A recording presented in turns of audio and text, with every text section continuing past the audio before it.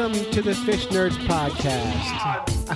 I'm Clay Groves, Chief Executive Fish Nerd, and I'm sitting here with Nick. Nick, how are you doing? I'm doing fantastic. Now, Nick uh, Hudson is uh, one of our correspondents, and he is also our audio producer. And so it's fun to have you on the show.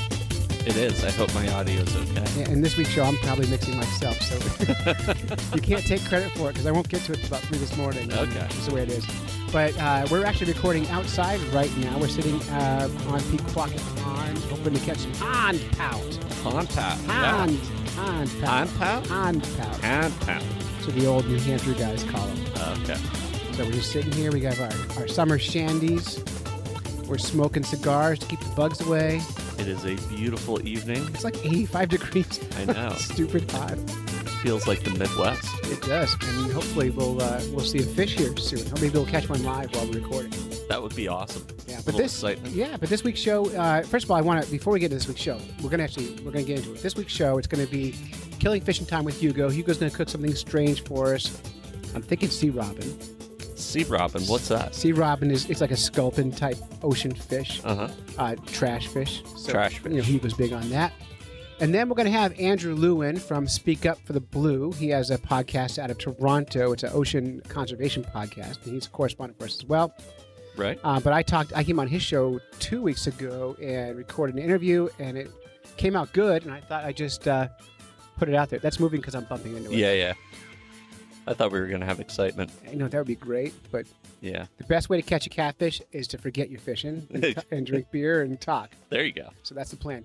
Uh, but before we get to that, um, I want to talk a little bit about safety and why you should always wear a PFD while fishing. Oh, you're gonna put me on the spot here? Yes, and so I, I, I follow along. And if you're not already on the Fish Nerds uh, Facebook group, it's a podcast group on on Facebook. You miss out on the fun little adventures, and Nick's always posting his fishing stories on there. And Nick went out fishing alone on his kayak one morning on a pond uh, in the middle of nowhere, I did. and yes. and you went bass fishing. I did. I How'd was- it go? Um. Well, I didn't catch any bass, and uh, did catch some pickerel. Excellent, There's tons of pickerel in that pond. excellent, absolutely masses. But uh, yeah, so I was on my way back and I wasn't really paying attention. And I went to grab something on the kayak and just tipped it over. Now, the ironic part of this, and you're going to get a kick out of this. Okay, because I love irony. Yes. So the the previous night, I was watching some fishing blooper videos on YouTube And you're laughing at people, and I'm laughing out. at Yep. people tipping their kayaks, going, "How does anybody do that? It's impossible. It's impossible. Why, you know?" And then I, as I was heading out, I was like, you know, it'll be just my luck. I'm a, if I tip my kayak, and sure enough, I did, and everything went overboard, and I was luckily wearing my life vest, which I always do. smart. I don't always. Yes. I'm a bad example. Um, I also always tell somebody it's just like hiking. I tell somebody where I'm going to be when I expect to be off the water, um, for the for this exact reason. So uh, yeah, I had to search for my rods and uh, I lost a rod and yeah, went back and snorkeled for it and didn't find it. It's so hard to find things when you're snorkeling in those lakes. It really is. It's it's mucky and it had rained and there was no chance. But I did recover two of my rods at the time, which was good. That's pretty good. And you didn't lose your cell phone or anything like that? No, I had my cell phone in a waterproof case in a zipper pocket in my PDF. So PFD. PFD. yes. Yeah, PDF. It's a document. That's right. Yeah, it's a I. I mix them up they're- sometimes. one of them will float you someplace, and Oh. one won't. Yes.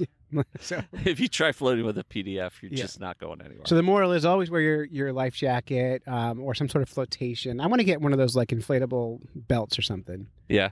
because I, I don't like wearing a big poofy life jacket. I, you know, it's a little bit of a pain, but I just feel so much more secure. And after this experience, I will never go without it. Yeah, and it's smart, especially alone like that. You never know. And and we've in, in our area, we've actually lost a few people recently on the rivers here not wearing life jackets. So it's really important and critical you do it. And uh, Yes, they, ha- they they sell really good ones now too that look good and are comfortable. So you can always buy a nice one. Well, I got mine at that at that outfitter place that's going out of business. hmm Um, so you know you could get a good deal there if you need one. I'll, I'll do that tomorrow. Okay. It's on my list. So anyway, so anyway, we're we're here. We're fishing. Um, this episode tonight is brought to you by Patreon.com. That's you guys, our listeners. So if you want to support the show, go to Patreon.com forward slash Fish Nerds and donate to the show. Most people give a dollar an episode, four dollars a month, and that goes a long way to keeping the show going. Right now, we're getting about three hundred dollars a month, which is fantastic, and that barely covers the production cost of the show all the internet stuff we do and the Facebooky things and the buying the equipment and but it doesn't cover time or travel or any other expenses. So we, we need need money to keep this show on the road, and uh, it's important. Yeah, and you know, as somebody who is now involved in the production, you know, the amount of time and effort work that goes into producing the show is actually quite impressive. So it the money really does does go somewhere important. Right, we got to pad your pockets. Yeah. Yeah. I need to get paid. yeah, you know, but we had the, the Patreon paid for the equipment. We're outside recording outside, and it sounds good because of Patreon, because of you guys. If you donate at the twenty-five dollar an episode level, which is pretty high bar, we'll mention your business on the show. So we have right now, uh, Josh Lopes has donated $25 per episode. He's lopestax.com. So if you're in Massachusetts and you need a fancy pants accountant, he's your guy. Go to lopestax.com. Uh, and, and he's actually a really good guy. He's my neighbor, and I've been fishing with him as well. So. Is he good at fishing? No, he sucks.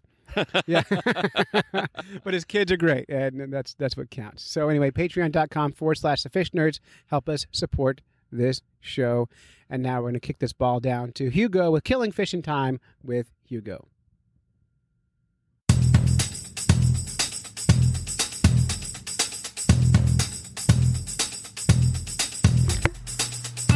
Hey folks, Hugo Madero's here with some more adventures in cooking seafood on the behalf of the fish nerds. So we're into uh, late spring here in Massachusetts and New England in the US. Having a great time. Finally, it was a slow winter here. Didn't get uh, many chances to ice fish just because of the weather or to open water fish. So finally, spring has come, and I've been going out as much as I can, every chance I can, and having a blast. So this one is cool. This is a great fish, great creature. Um, and it's uh, not only cool looking, underutilized, it's also, well, you know me, it's awesome to eat. So this is about the uh, sea robins. So these creatures, if you guys haven't seen them, Google it. They're uh, they're so cool looking. Um, they're they're very abundant. You catch them as you're trying to catch, you know, uh, game species like stripers or black sea bass and other species. Um, they're they're fun to catch. A lot of people hate catching them because they are everywhere, and they're usually pretty small and they're tough to clean. But if you do it, they have um, two strips of meat kind of along the tail, you know, from the back of the head all the way back down, one on each side. Uh, when you cut them out, you get these two little, uh, these two little like tenderloins of uh, of white fish, and they are delicious. Uh, the other thing that um, someone turned me on to last year um, is their uh, their fish roe, the eggs that they have. So I love eggs of all sorts and have eaten eggs from all sorts of fish as far as I can remember. So I tried these ones last year. Um, you got to be careful to get them out. They, um, you know, it's in it's a roe sack, and you have to be careful when you're gutting them to uh, get it out carefully. But once you do, and once you've cooked them, I love them. They're very mild flavor, kind of sweet, nutty almost flavor, and they're uh, they're just delicious. I just ate um, a bunch of them. I ate probably three, four meals with uh, with these. So this one's wicked cool. Uh, what I did with this one is I took a cupcake can, uh, pan, and in each of the holes where you would make the cupcakes, I lined the walls with uh, bacon. And then after that, I would take one roe sack and put it inside in the middle, and then I cracked an egg and put it in there and seasoned it, of course, with a little bit of salt and pepper. So those went in the oven for a while. Um, you know, I was curious to see how this came out. I don't know what made me think of it. But I got those guys out and I tried it, and it is delicious. What I ended up doing uh, after my first or second one is uh, I topped it with um, sambal oelek, which is this. Uh, it's in, you'll see it in the Asian sections of the American grocery stores. It's this uh, crushed red peppers in a little red uh, clear jar with the green top. So I put that, fresh cut scallions, and just the mix of flavors of all that and the textures with the egg and the bacon and the roe sack is awesome. So I'm gonna post uh, post the um, we'll post the recipe up on fishnerds.com. Check it out. Uh, you know, I love to eat all sorts of stuff. Uh, it might sound a little bit crazy. It's not weird tasting at all. It was delicious. So I can't wait to get out there and get some more of these little guys. Have fun, everybody. Later.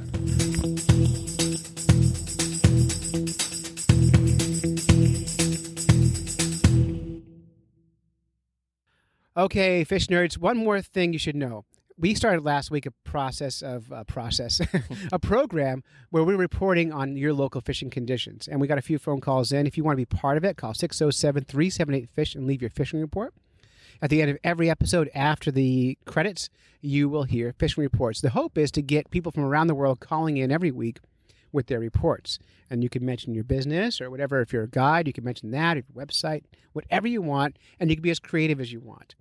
So just call us in 607 378 Fish. Leave us your name, your location, because that matters, Yes, it does. uh, and what's the fishing like in your area. And don't make stuff up. Just tell us what, what's going on. so, so should I report my flipping thing as well, or you know? You could. You could say, you know, the Yeah. water is very wet in Maine today, so uh, wear your PFDs. Oh, and we're back. And after hearing Hugo cooking all that food, it makes me want to cook food. When's the last time you've had fresh seafood? Uh, it's been a while. It's been a while. Yeah, I think uh, actually when we went ice fishing was the last time I had fresh food, That's Fresh. too bad.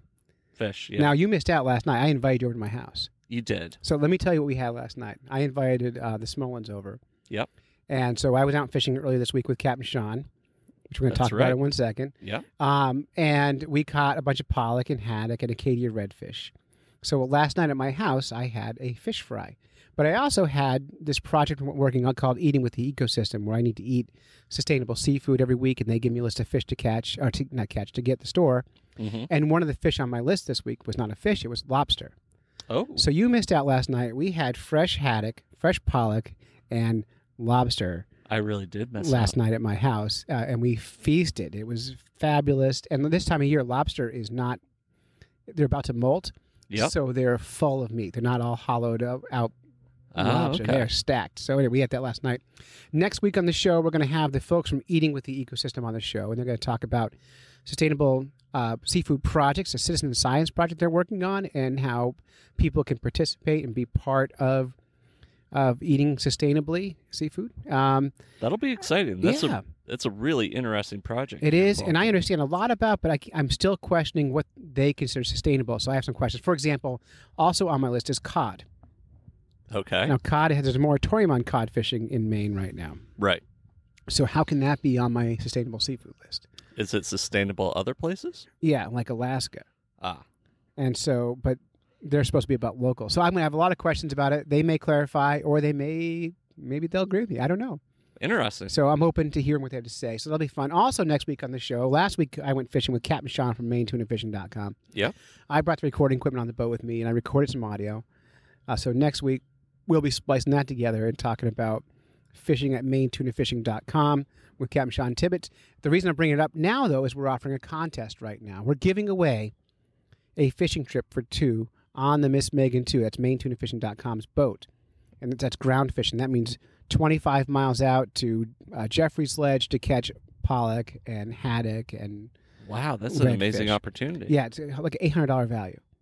And the way you get in on that contest, you go to our Facebook page and, and you find on, at the top of it, you'll find a contest link. You click through, enter a quick survey, and you're entered. You can enter once that way, but you can enter two more times by giving ten dollars by throwing ten dollars in the hat. Ah, And here's the trick. Now, a lot of people are going, Clay, what's that ten dollars for? You give it to charity? And the answer is no. I'm not giving it to charity. The ten dollars goes to pay for the trip. The trip costs a lot of money. The gas to get to, out there is not free.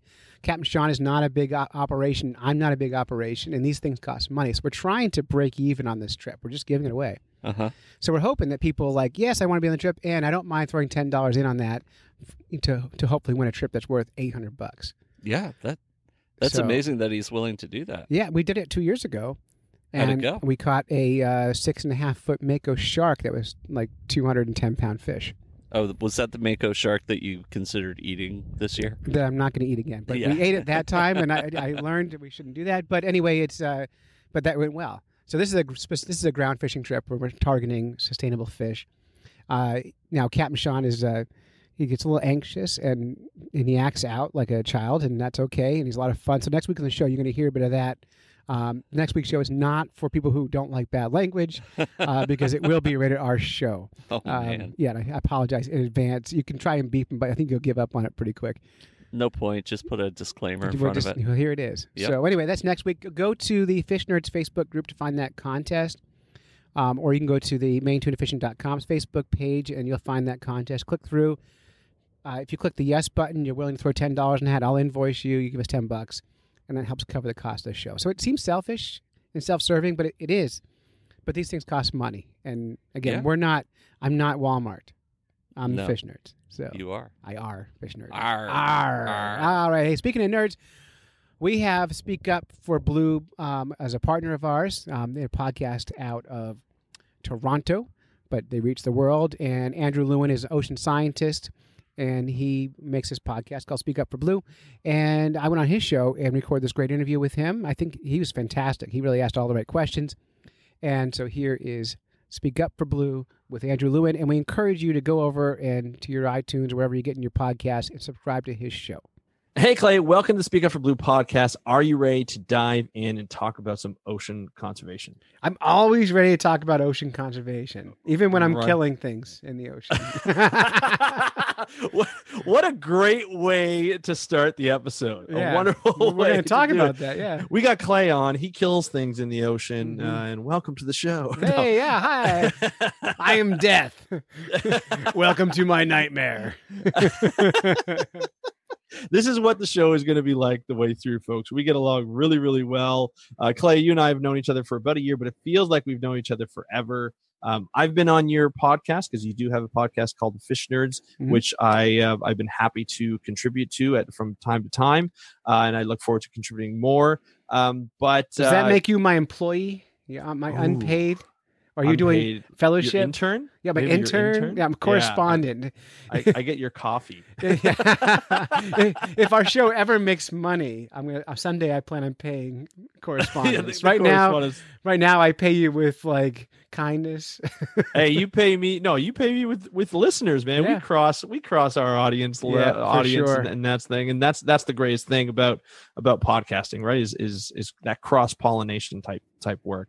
Um, but we we're going to talk about some sustainable seafood today. Mhm. Um, that's what, and I'm excited because this is something that I've been, uh, you know, I've been talking about throughout, you know, since we started the podcast two years ago, and you know, we've been frustrating it is to figure out what's sustainable, what's not. Now there are apps and everything like that, but the people that we buy food from don't always follow the apps or uh, don't really know what it's about. Because I go to the grocery store and I say, "Hey, hey, where is this fish from, and how was it caught?" And the 15 year old that's getting paid minimum wage, who can barely speak because he's so shy, you know, is saying, "I don't know, like I have no idea." Then I'm like, "Well, I can't buy from here because you know I don't know where it's coming from," and he's like, "I don't care." I'm just here for the money, Right. and it's and so he it's, thinks it's you're a very dick because you're hassling him, right? So like, why are you hassling me? I'm just yeah. Why are you asking me all these I just- I, I scraped the bottom of the fish bin at the end of the day. What am I supposed to know stuff? It's crazy. exactly exactly so we're going to talk all about that kind of stuff you know uh, you know how you look for seafood because uh, you, you know i've listened to one and we're going to talk about one of your recent podcasts where you you presented at the virginia aquarium uh, uh, where you recorded that for your podcast um, but uh, it was really interesting to to hear how you know you look for food you look for for specific fish uh, that that that journey and then to cook it and then now you're into sustainable seafood and how you get into that and how we can really uh, get into that for different types of fish and, and whatnot. Uh, but first, uh, I want you to tell us a little bit about yourself for people who haven't listened to the Fish Nerds podcast. By the way, we're going to be putting the links uh, to the show notes. It's going to be speakupforblue.com forward slash fish nerds. Um, but there's, you, if you're on your podcast app, just go to fish nerds, but we'll put the links in the show notes. Uh, but just to let everybody know who you are, what you do, all that kind of jazz. Oh, sure. Uh, so my name is Clay. I am the chief executive fish nerd of the Fish Nerds Ooh, podcast, right? Just like you're an oceanpreneur, I'm a fish nerdpreneur. Right. Only, just like you, neither one of us make any real money at this uh, yet, but it's coming. Uh, It's but but. I've been making the Fish Nerds podcast for gosh three years now. Um, been through uh, co-hosts and many many correspondents over that time. Uh, but we make a show about fish, fishing, and eating fish, and we always say anything is fair game, um, which is a nice broad spectrum because fish is everything. And I'll tell you one thing I love about fish. Well, there's a Mhm. couple. There's a lot of things because fish are, are are amazing. But the thing I like about fish is it's every culture is impacted by fish. No matter where you live on the planet, you live in a place where fish are nearby, and the reason your town is where it's at or your village is where it's at is because fish were there. And it's that kind of one thing we can all talk about that all matters to all of us, right? Uh, And so we love that. And it's kind of like everyone has something to talk about with fish. Um, and the podcast came from originally, I went on a quest to catch and eat every kind of freshwater fish in New Hampshire. Uh, part of that was just to do something no one's done before, but the other part of it was to bring awareness to uh, non-game species of fish that no one cares and knows about. Okay. Uh, in fact, I'm going to take credit. In New Hampshire, we have a fish called a fall fish. It's a, New Hampshire's largest native minnow, and they get about three pounds. Right? Okay. Imagine like a like imagine like a, a you know a shiny little carp like a thing. Yeah. Um, and I, I will argue that uh, before I went on this quest, no one knew the name of the fall fish unless they were a biologist or worked in the industry. Uh, everyone online, all the Facebook groups and all that called them chubs and uh, river dace and all kinds of weird, not quite names of fish. Those are all like generic things. They didn't Well, mi- first of all, minnows very difficult. Minnows are very difficult to identify They're- in the first. They are very difficult, but so but fall fish in New Hampshire are pretty easy because they're they're kind of a unique thing for the state. Um, I, I'll, I can share some links later. But the um, the cool thing is is I've been pushing the name fall fish, fall fish, fall fish for years, uh, and now you go on those same groups online, all the big online forums, and people are talking about the fish they caught, and they're getting every other fish wrong still, but they're getting fall fish right. Uh, that's because of me. Huh. Yeah, I'm going to own There that. Go. probably not just me, I know, but it, uh, I'll take some credit. But uh, it, we went on, we caught and ate them all, and the reason we ate them all was was again not when you're doing something, especially doing it publicly, you have to do it bigger. And you know, I always tell my kids, when you do something good, do it one gooder, right? Well, to make it right, one right. gooder, that's my science talk. It means to make better Love it. um, we to make it one better, we ate them all because, again, everyone eats, right? And turns out most people would prefer to talk about eating the fish than any other part of the quest. They want to know what's the worst tasting, best tasting, weirdest, funniest. Did you die? How's your mercury levels this year? That I love all that kind of conversation. It's really great, um, and it really helps us a lot to have that conversation, and it makes it funnier. Uh, and I also have a science teacher background. I've- I've been a science teacher for years. Um, I'm a trained trainer of science teachers, uh, and so communicating science is part of what I do as well. Uh, we were Yeah. talking about the, uh, pre-show, and so I love to dive into a lot of the science topics that people maybe don't understand. Yeah. Um, and here's the funniest thing: is I am wrong more than I'm right. And I and it's true, love it. and I take a lot of flack for that. A lot of um, cause I'm also a fishing guide. Fishing guides uh, live in a world of egos, right? Where they're right. Right. all the time. I've got a patch on. I have a somewhere. I've got. I thought I had some guide patches I would show you, but I've got a guide patch, and that says I know stuff. Um, Right, But I've got a science teaching background, which means I love to be wrong and I love to learn from that. So I post pictures of fish online sometimes. I get them wrong. And then I get phone calls from guides saying, uh, Clay, you might want to take that post down because uh, you called a brown trout a salmon, and I know you went to guide school and blue, blue, blue, blue, blue, blue, blue. And what happened, the reality is what happens is I post a pic- picture of a fish up and I get it wrong. And someone says, wow, Clay, that's a salmon. And I go, huh, you're right. I made the classic mistake of judging a fish by its color and not by its fin structure Right. or whatever it happened to be. And rather than take take it down and pretend I know stuff, I went, "You're right. I was wrong. Thanks for showing me." Um, which is a different attitude than probably most other know it all podcasts have. I hope. Yeah. Um, but mostly, the most important thing about the Fish Nerds podcast is it's nerdy and it's fun.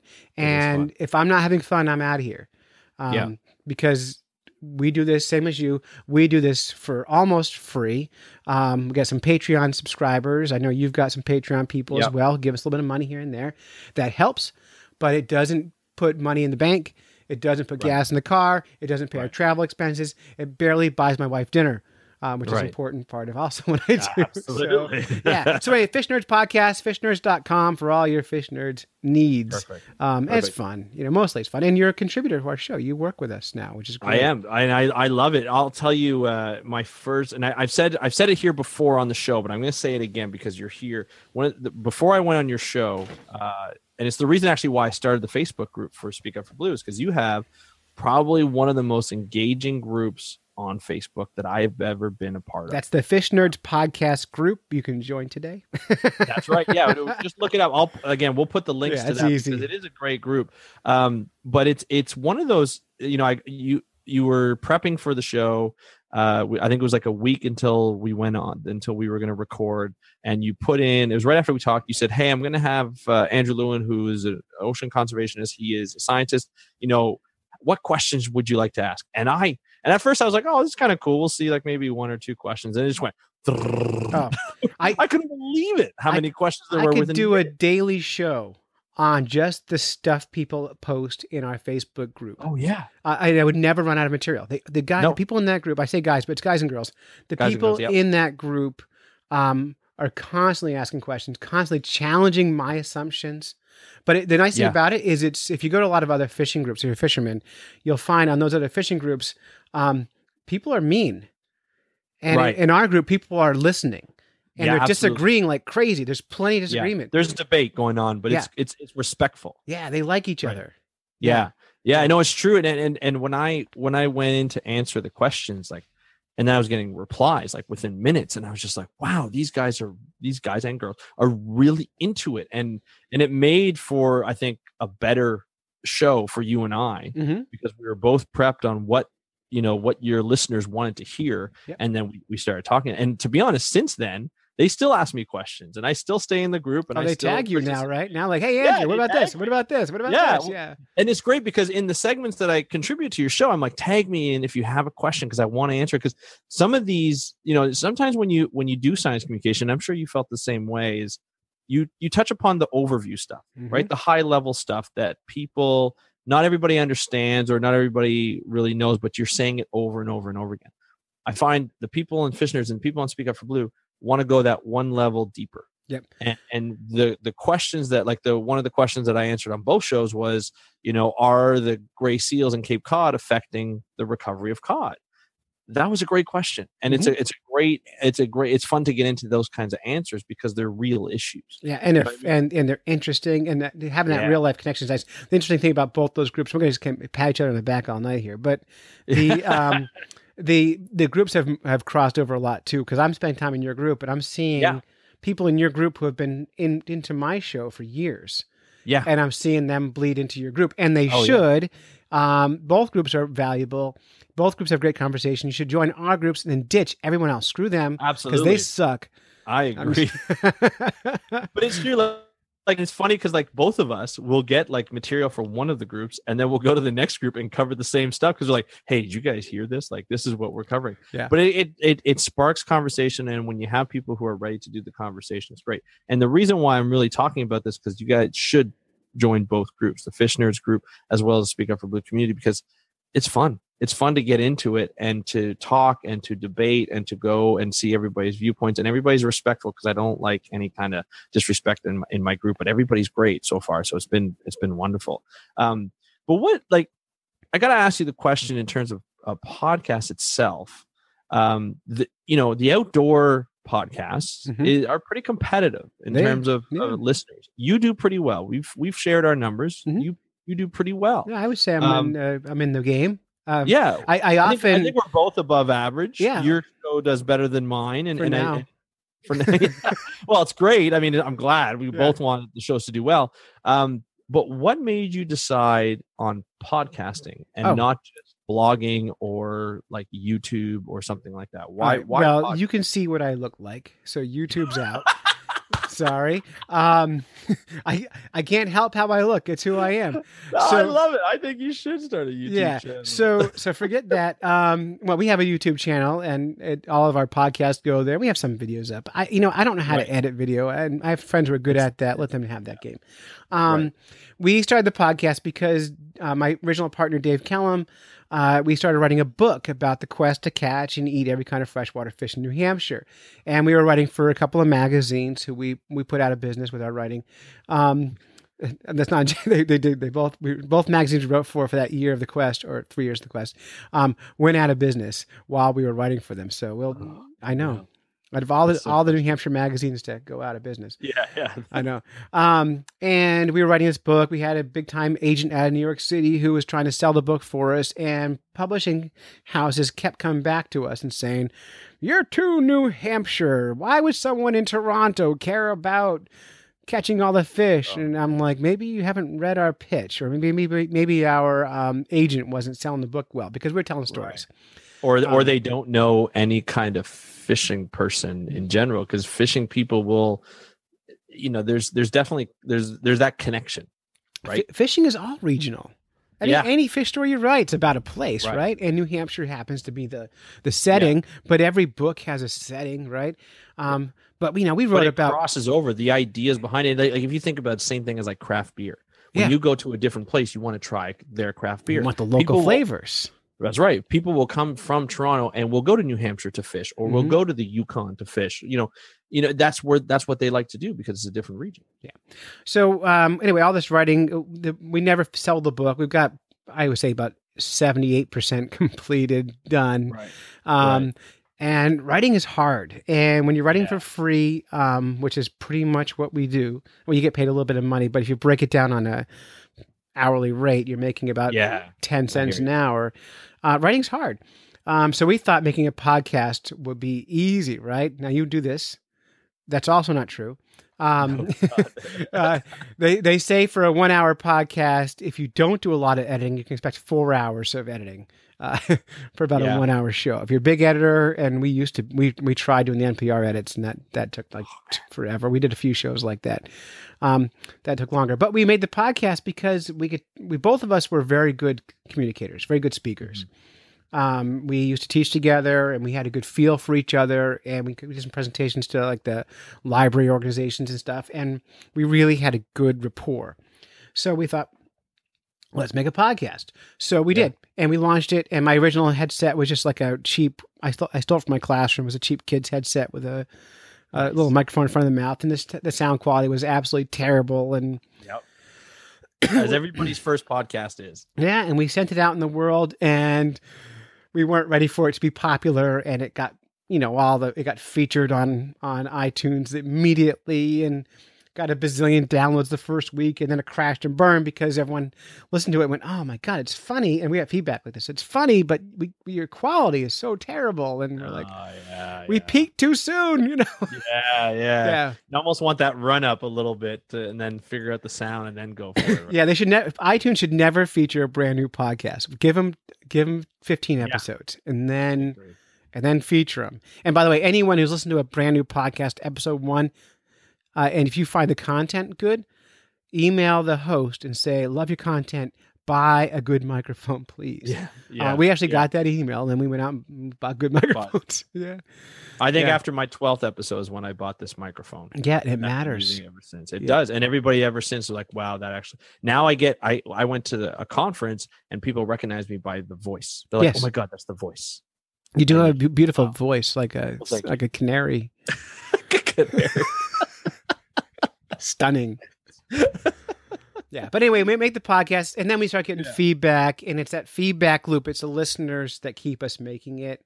Um, if if we never got any feedback at all, no one ever reacted to anything we did, we would have been done a long time ago.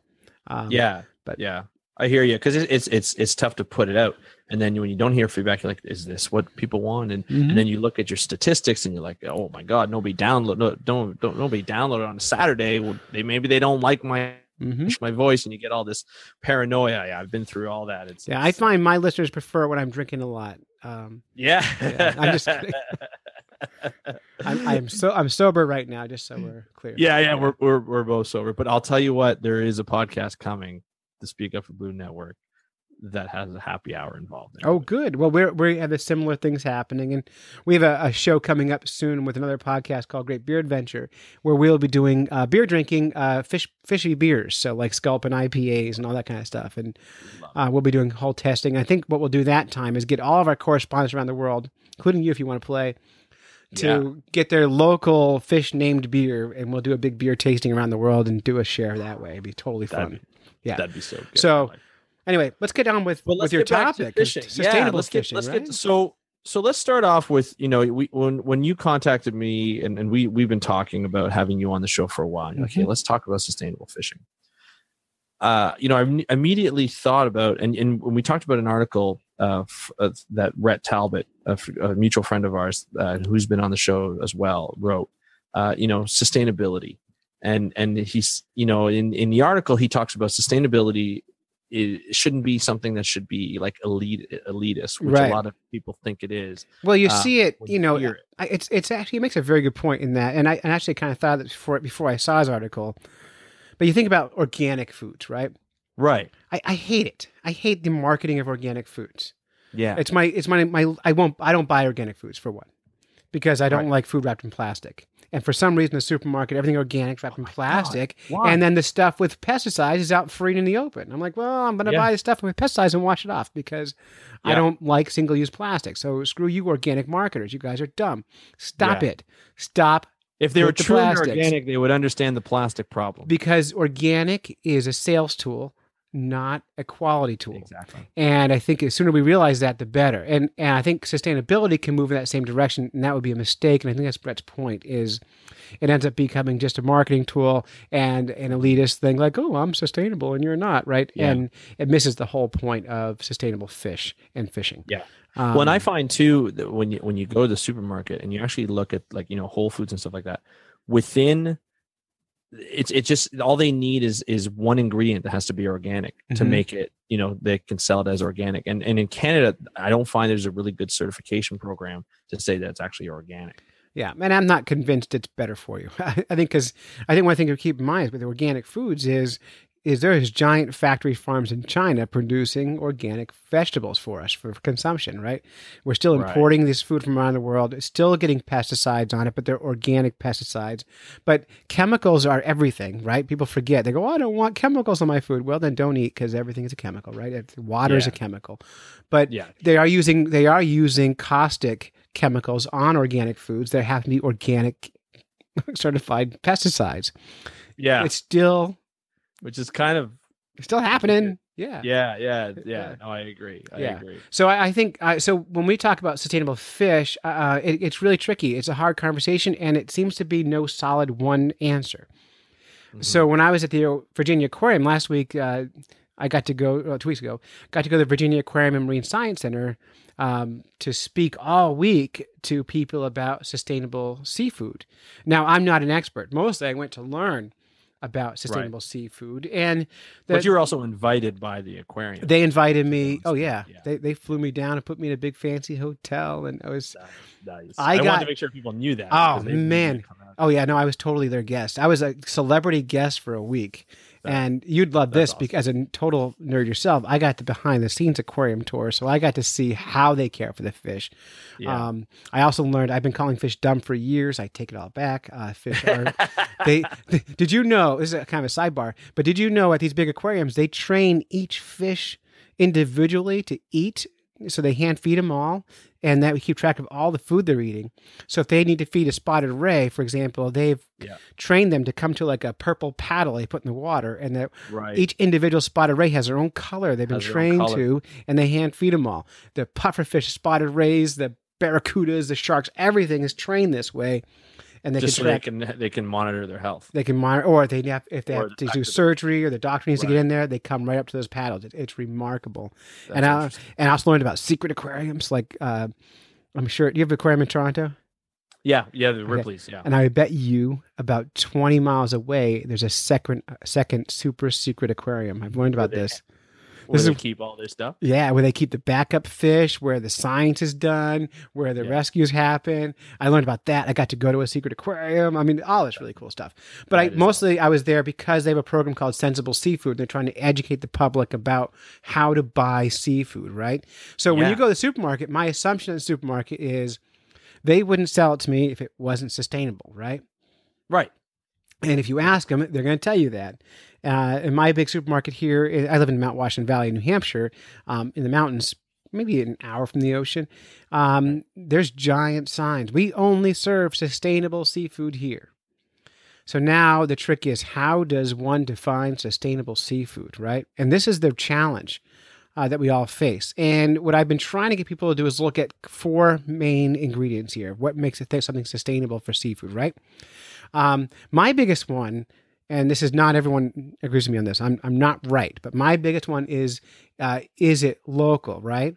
So if Yeah. you're near the ocean, if you're on vacation in in South Carolina, for example, and you're at a restaurant and they're serving you Alaskan crab legs, maybe you don't want to get that. Maybe you want to eat blue crab, which are caught locally, right? Now, arguably, both populations are strong on both those fish, uh, fish, both those Yeah. crabs. Um, Yeah. But one is more sustainable than the other because it doesn't travel as much. Now, I'm defining sustainable as The whole process. as the whole process, right? Yeah. it- how does it impact the environment, not just that population of fish? And that's different than a lot of people do it. So, is it local? Is one, right? Um, is it plentiful? Are there lots of that kind of fish? Right. So, if they're red listed or if they're Right. recommended, you you know, even on the yellow list, maybe you want to avoid that species and pick something that's that's not uh, in danger. You know, um, Yeah. uh, um, I don't eat cod anymore, for example, even though they still Right. sell it in supermarkets and. I don't eat cod. I don't. I don't. I like it. It's delicious. Yeah, of Um, course. It's delicious. It's, I, I'll eat other fish in the cod family, but I won't eat the Atlantic cod uh, anymore Right. because I don't believe it's a good idea. right. Um, and then, uh, and so is it is it abundant? That's really important. Um, and then I would ask when it was caught. Is it local? I mean, is it is it um, is it fresh? Which doesn't necessarily mean it's not sustainable. It's just I like it that way. And then how was it caught? Yeah. Right. Because if That's you're the big one. if you're out there eating blue crab and they're dredging the bottom in the winter where blue crab are hibernating, and they're disrupting the environment, the crab itself totally sustainable because numbers are strong, but you've wrecked oyster beds and all kinds of other things as you were scraping the bottom there. So there's a problem with that. Now, can we expect a server at a restaurant to know those things? I'll tell you what though, It's tough. at a good restaurant, you do. You do, At you a, do. At a fancier restaurant where you're paying the big bucks, they usually do. Yeah, Not well, all. Them, They, they generally speaking, they do, and that's marketing to um, rich people, right? right. They're right. to the organic people, the gluten free people, the whoever. Yeah, yeah, yeah. There's, it's, it's, it's a bunch true. of rich white people. Let's. I mean, let's be honest. That's That's that's what it is Yeah. for sure. For sure. Um, there, there's no poor person on earth who's gluten free. Um, No, so, but that's it's a marketing tool, right? Um, and it's okay, and that's fine. But we can ask one question, and I, this is where I always say, just just ask one question: Where was that fish from? Basic Mhm. question, and that starts the conversation, right? And if they don't know that one thing, then order the pork. Yeah. That's the- yeah. Exactly. It's the basics. Um, If they I, I don't figure ex- out where yeah. it's from. Exactly. If they don't know where it was sourced from. Um, and that's kind of where I push people into doing. Um, I know I'm participating in a program right now called Eating with the Ecosystem, which is a citizen science project. Now, you motivated me to look for a citizen science projects. Ah, I- boy! I- There we go. I heard your podcast on this, and I found one that was happening in New England called Eating with the Ecosystem. And the way it is is every week there's 200 of us doing the project. Uh, every week we get a random email of four sustainable fish that are caught in the Gulf of Maine. Okay. So, and they define it as local, fresh, abundant, right? Um, And they don't. They didn't mention how it's caught. They just do us those three things as far as their definition goes, and that's fine. It's their experiment. Um, and then we have to go to our local market and buy them. Now I'm five weeks in. I've not one in five weeks. I've not got got one fish on my list. Because they they're because they haven't sold it. They don't sell them at at my market. Now they do. And you're an hour away from so the just ocean. in perspective, you're near the Gulf of Maine. New Yeah. Hampshire. Is it in the Gulf of Maine? It No, is, yeah. It is, Yeah. yeah. Um, so you're in the Gulf of Maine, an hour away. Mm-hmm. So that's a you know a short truck truck uh, delivery, Mm-hmm. and you haven't been able to find that local. Well, well, well, let's clarify. There are probably 60 f- different fish and shellfish on the list, and I'm giving a random slump of four a week. It doesn't mean the fish in my stores aren't on that list. They're just not on the four I'm given. You know, so like Mm. lobsters on lobster might come up someday on my list. Lobster's always available here, right? Yeah. Um, and you so know, what can you what what kind of fish? Give us an example. So of, here's what I have not been able to find locally yet, right? Okay. I have not been able to find periwinkle. I have not Okay. found striped bass. Striped bass is caught this time of year with hook and line. It's not big netted fish, right? So that's sustainable. I have not found. Um, I have not found bay quahogs.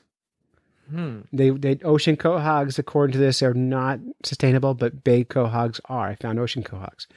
Um, I have not found. I mean, this- gosh, a trigger fish. I've not found. Uh, So is is it is It's- it it's very uh, that the fact that they're not on in season? No, there's. Oh, they're all in They're season. Supposed right to be in Yeah. season, so that's part of the experiment. That's part of the experiment. Everybody Yeah. in season. And Yeah. sustainable. They just you just and these are not the ones you you know the ones you mentioned are well I guess maybe striped bass you would expect to be in there, but Striped bass you expect, but periwinkle you wouldn't expect. Maybe a little bit Um, spiny dogfish is not in the stores. They're not serving spiny dogfish.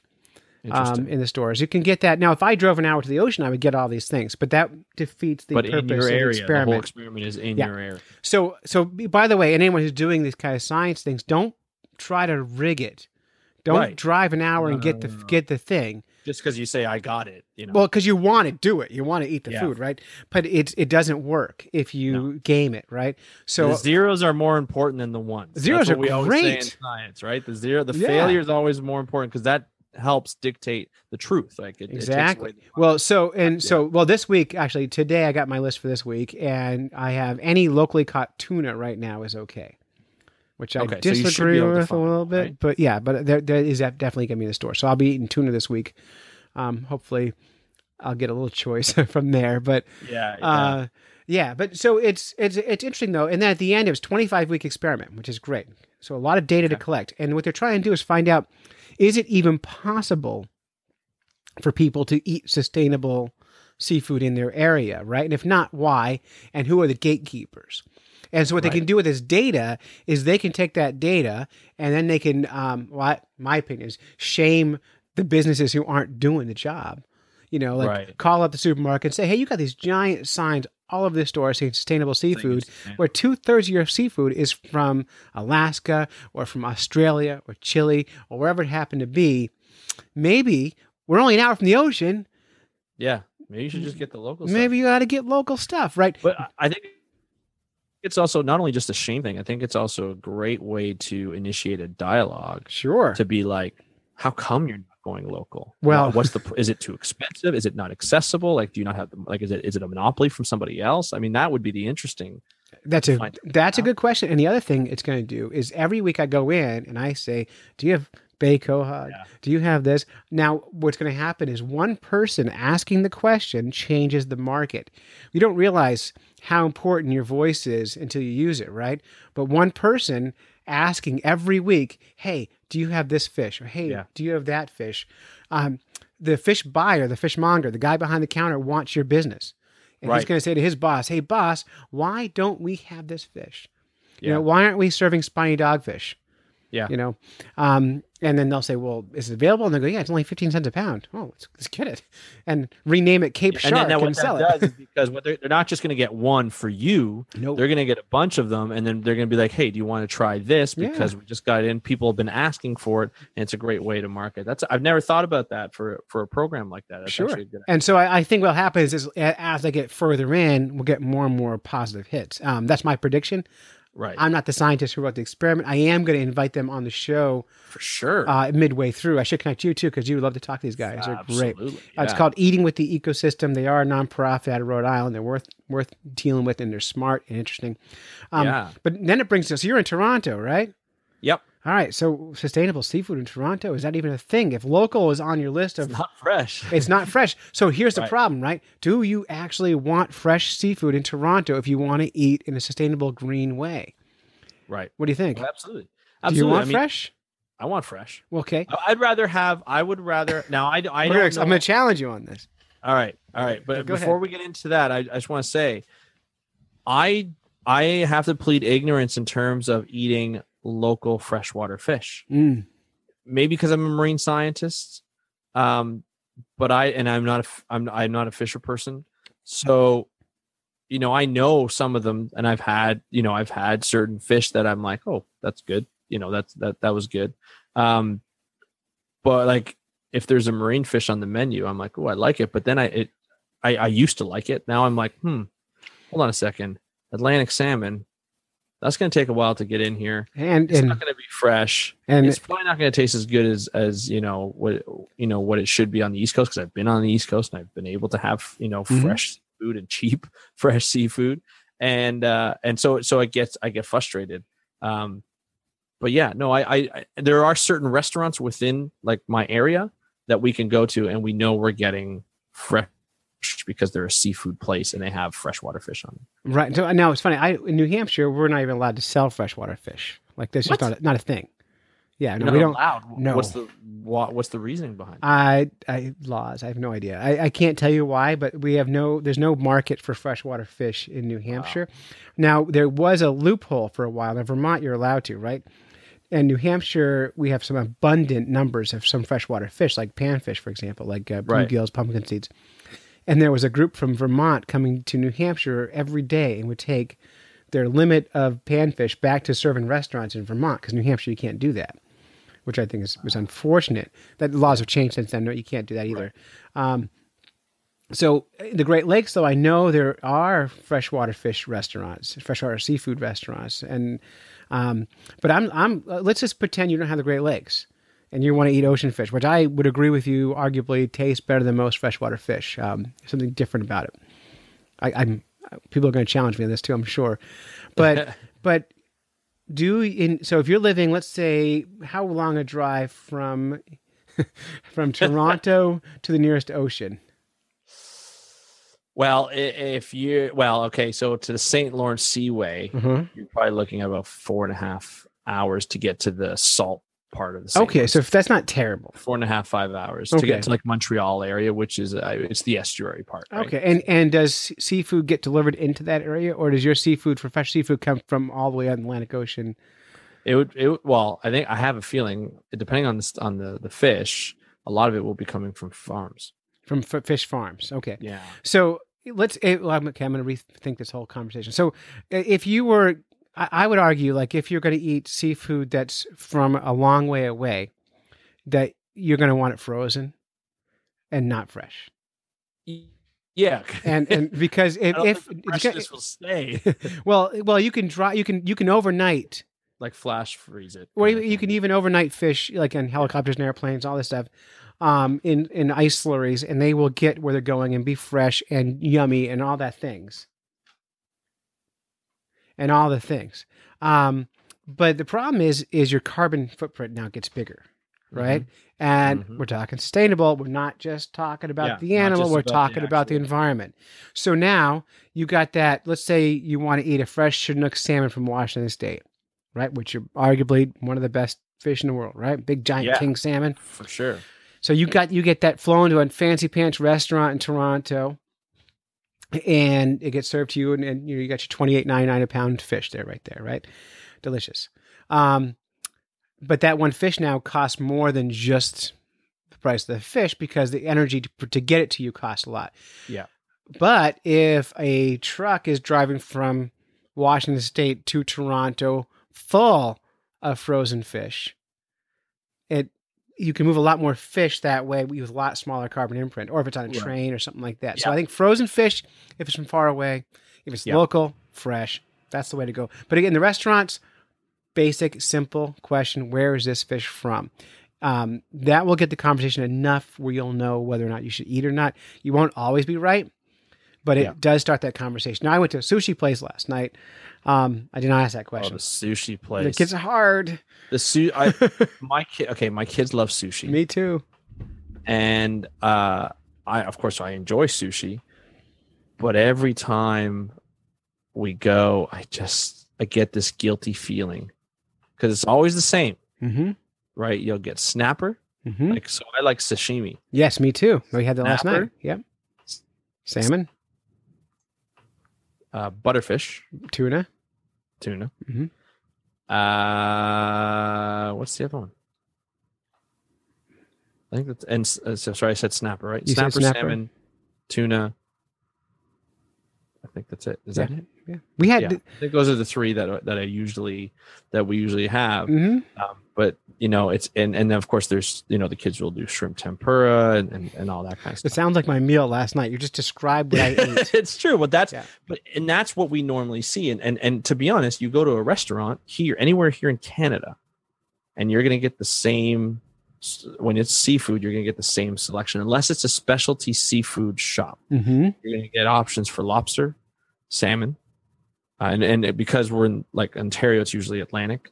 Um, every once in a while, it'll be like coho or something like that, uh, and then you'll get like haddock or halibut, which is it's one or the other. Right. Um, And to be then- honest, to be honest, the people eating it almost never know the difference and don't care.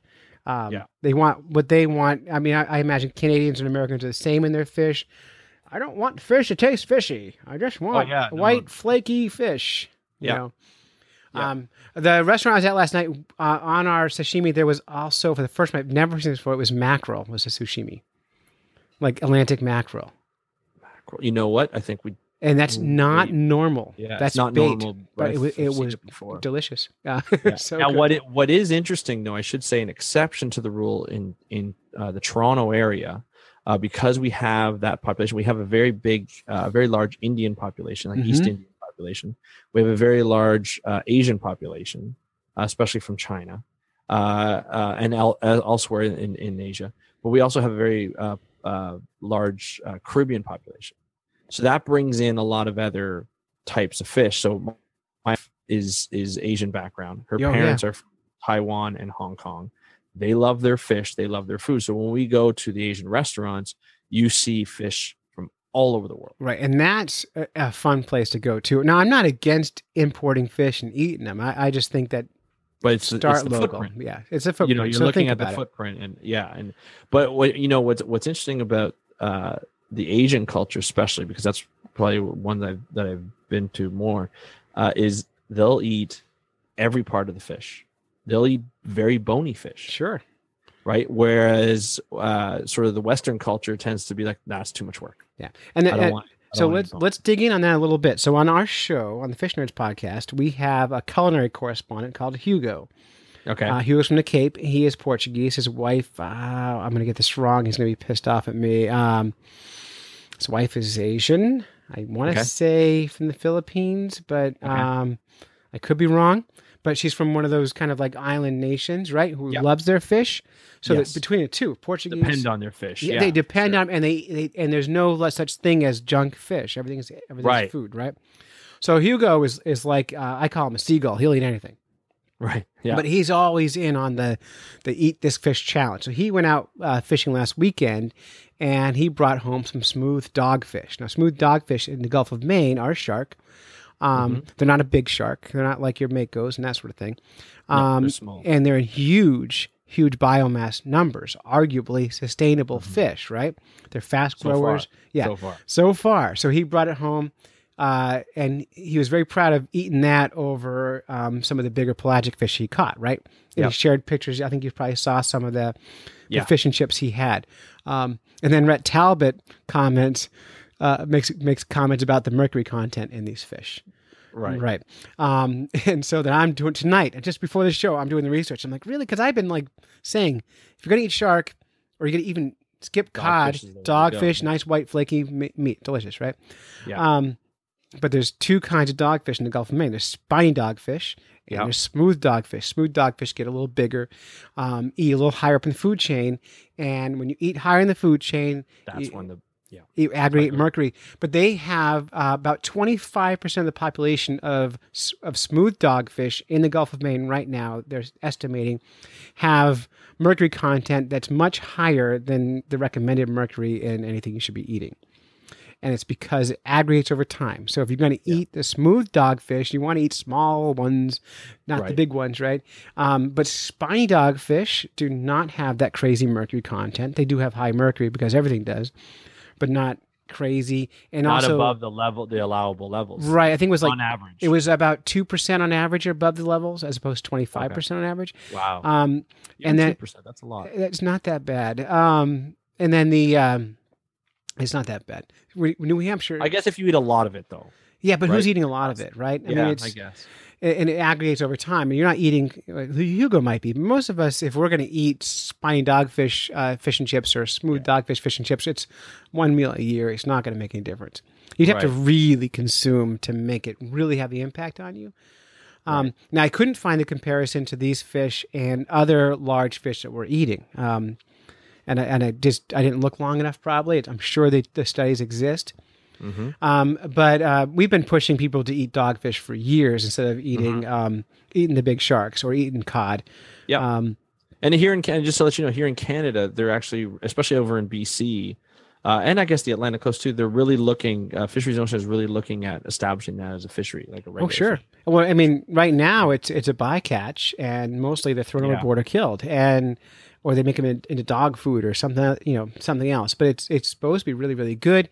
Um, I actually haven't had had it yet that I know of. haven't although. I'm told if you've ever traveled to England and had fish and chips, you've eaten dogfish, Oh, okay. uh, and it tastes like cod. Um, Yeah. which is a nice thing to know. Um, Yeah. you know? Yeah. I mean, it's good. Like, well, you said, it's it's it's uh, it's a good taste. Mhm. You know, people like good taste. Um, I I don't know if people would love because of the fact that they are a small shark. I don't know if people would love like you call it spiny dogfish, and that's okay because people are like, oh, spiny dogfish. Yeah. That's not a shark. I'm okay. But with everything that's going on with sharks right now, if you hear shark, a lot of people are against the fishery, establishing the fishery. Sure, Uh, and understandably lot of so, right? will Come out and say this is actually a shark. We should be very careful with this. We don't know that much about them, Right. and that's that's the argument. I will. around- I will accept that argument. Um, well, listen, we're going to eat fish, and we have to kind of decide which ones we're going to eat, right? Yeah. So the, either way, they're going to get eaten, right? Fish are going to be thing. right. So then we look at like um, on the, our Facebook group tonight. Ryan Dubé posted this giant like diatribe about why we're not seeing things like sea robin and sculpin and weird fish in restaurants. I don't know if you read it or not, but I read it. It was a great post. but, but basically, it's saying is like, yeah, totally true. All delicious fish you can eat, but uh, can we bring it to market? Eh, They're small fish. They're bony fish. They've got weird spikes all over them. They're tough to to to fillet. They're Yeah. tough to process. Yeah. Whereas if you pick up like a large cod, it feels like a big piece of meat. You can just slice a Yeah. fillet off that thing like it's nothing, and you're at to market. So, so there's an efficiency issue, right? And I think it's a Yeah. fair point. Um, we again, we don't have the answers. We're going to Yeah. keep asking more and more questions and try to make the best choices we can, right? But if you know a fish is endangered, don't eat it. Yeah. Uh, and if you know it's if it in question, don't if you, if you spend money on a fish that you know is questionable, then you're supporting wiping out that species. Yeah. Right. If you know it's questionable, if you don't know, it's okay. It's going to happen. You got to make mistakes. Yeah. Uh, Yeah. And don't feel bad if you make a mistake. It's going to happen. But next time, don't do it again. Right. Right. Right. Um, so you you choose the future of our fish with your dollar when you buy seafood, and my vote for you is do some homework, choose fish that are sustainable, and pay your money to companies who are who are putting that fish in front of you. Yeah. Um, but then it gets confusing too because what about fish farms? Yeah. Yeah. Well, okay. Here's a question. Before we get into that, I have a question for you. Talking about endangered species Yeah. and so. I just came back from the Cayman Islands. All right. And I Good. talked about this last week. Uh, I'm not sure if you heard this episode or not, but uh, so at the Cayman, have you been to the Cayman, Grand Cayman? No, I'm not rich. Podcast from Canada. I can't afford to travel like that. I did not. I did not pay for this trip. I guarantee that. Oh, you Um, got I- funded. One of your sponsors took you down. Yeah, my parents uh, Uh-huh. uh, sponsor the. I need new parents.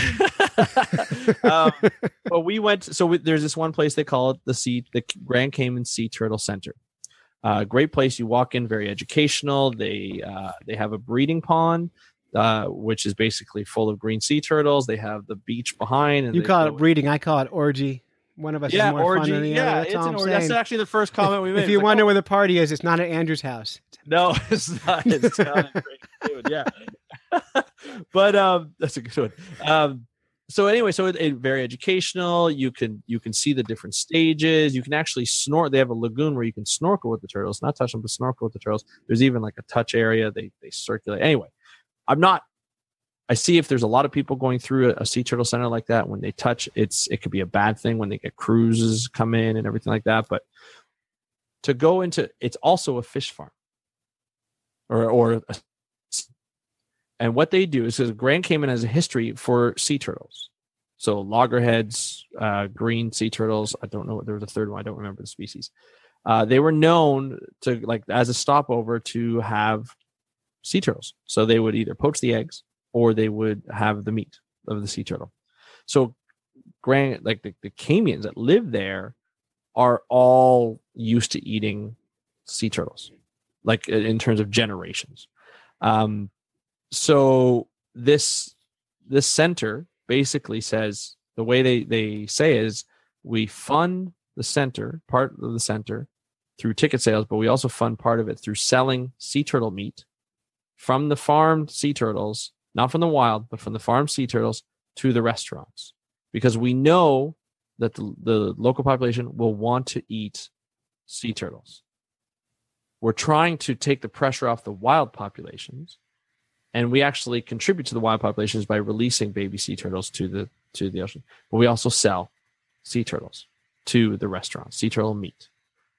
Now this is a, and this is where conservation gets complicated. It's always been complicated. Right? It always Yeah. gets complicated, but this is one of those situations where you can take either side and I feel from from my perspective you have a good point Sure. from one side, this sea turtle center is saying we're taking the pressure off the wild populations, which are all endangered. All the all the species, seven species of sea turtles, are endangered around the world.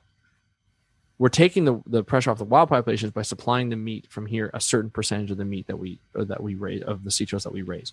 Um, but on the other hand, it's like why don't you take those sea turtles that you raise and release them Right. and contribute to more of that population, right? but you said they were doing that. Well, they are, but they're only doing a proportion. Like so right. you but but you know, like the- in the wild, only a small proportion of sea turtles of a big giant clutch. What two make it to adulthood? Right. So So, but you're increasing those odds maybe by doing it. That's Yeah. the argument. that's a fair argument. That's the argument Yeah. with a lot of people would say, right? Yeah. Is why you know why kill them because they're endangered.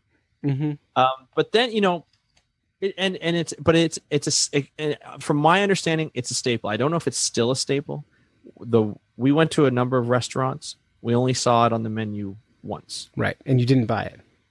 My brother bought it. Well, because really you aren't you me. curious though? Aren't you, or did you taste He's it? curious. He said it tasted like chicken. Bullshit. That- that- Tastes yeah. like sea turtle. but he said it, he just said it didn't really taste like anything different or anything that he would get again. Well, I mean, that's the, Um, the the basic fact of the matter is, is culture sometimes sucks, and i- Yeah. if you, I think culture is the worst reason to keep doing stuff that's Hmm. wrong. Um, I, I hate the argument that we do it because it's culture. Um, I, it doesn't hold. We we had slaves at one point, right, in this country. That was part of our culture. Does not make Yeah, it true. okay. Um, we murdered all the buffaloes. That didn't make it okay because it's part of our culture. Culture sucks at conservation. We need to fight against our nature, and human nature is not conservation, by the way. Human nature is consumption. Um, Right. We need to fight that. Conservation is all about, I think, going against our our norms and our culture. It's almost it's it's kind of like a little punk rock almost. It's like you know, screw you, Yeah. I'm not eating that Screw you. fish. Yeah, man. Yeah. Yeah. You know what? It's it's it's. Uh, by the way, I just pictured you with the mohawk. It's fantastic. Um, Any anytime you picture me, me with hair, it's a win. I didn't wear this hat because the hat looks good. that's awesome. Yeah. But you know, it's it's it's funny because it's it's uh it's something that I've been thinking about for a while too. Especially when you're it's coming to eating any kind of seafood is, and we've been it's sort of been the underlying theme to this is we can't have everything. no, you got to you have to got to realize that as a human population that we can't have or everything. Mhm. We can't, you know, physically we can.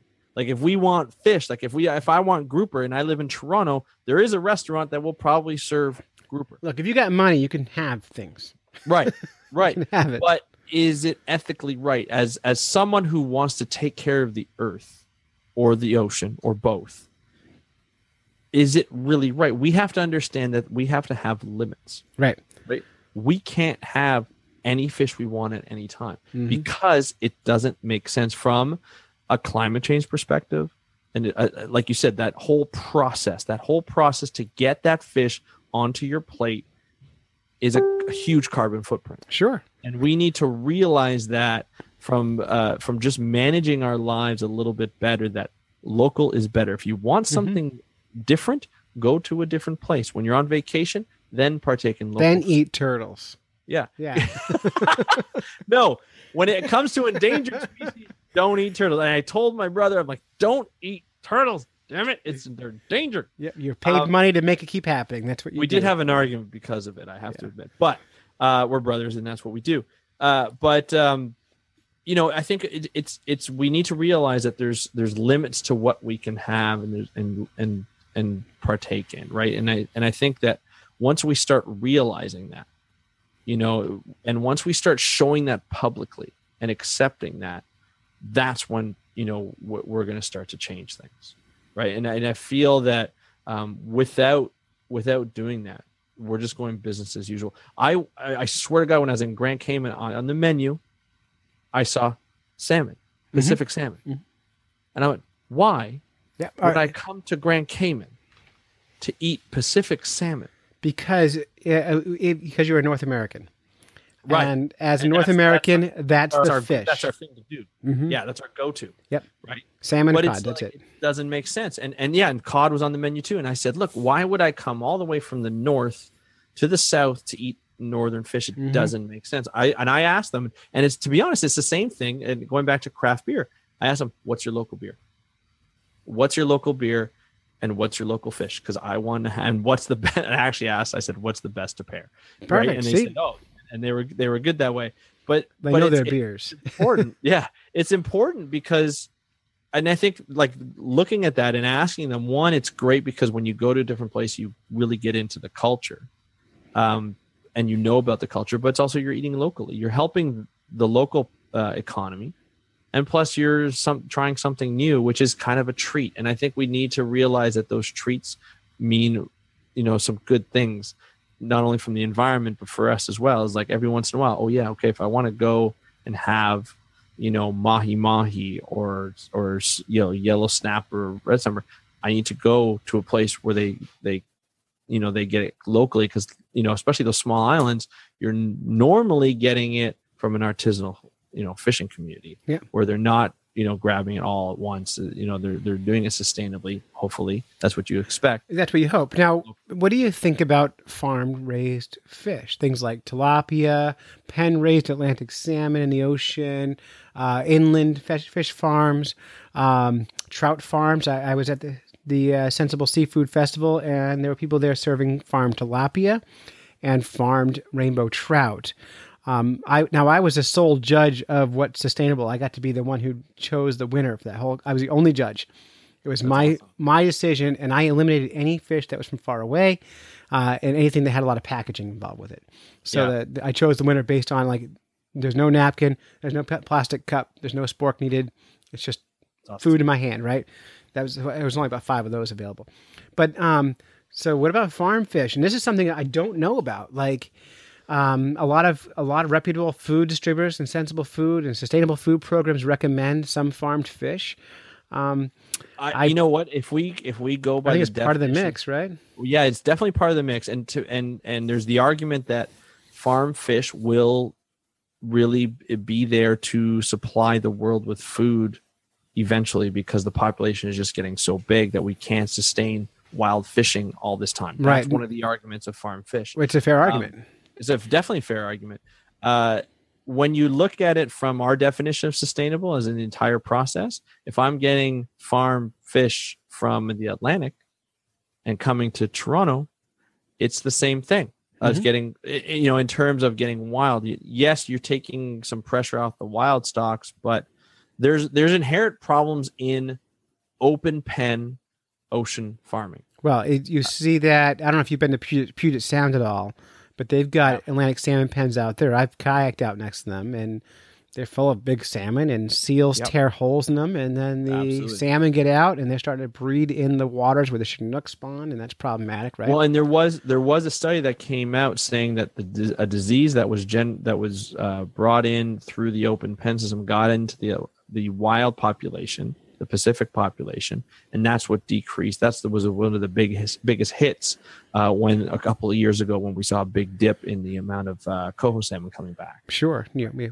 not to mention the course- dams are still the biggest impact. Right? Well, of course, yeah. No, I mean, there's other there's other problems as yeah. well, but turns out humans problem. are the big impact problem here with for all sure, these things. for sure. And, Um, and I mean, yeah. when you're looking at, um, you know, not only are humans relying on coho salmon, uh, the First Nations groups relying on coho salmon, but you're also looking at a resident orca population that is endangered that only eats salmon. Oh, let's shoot them.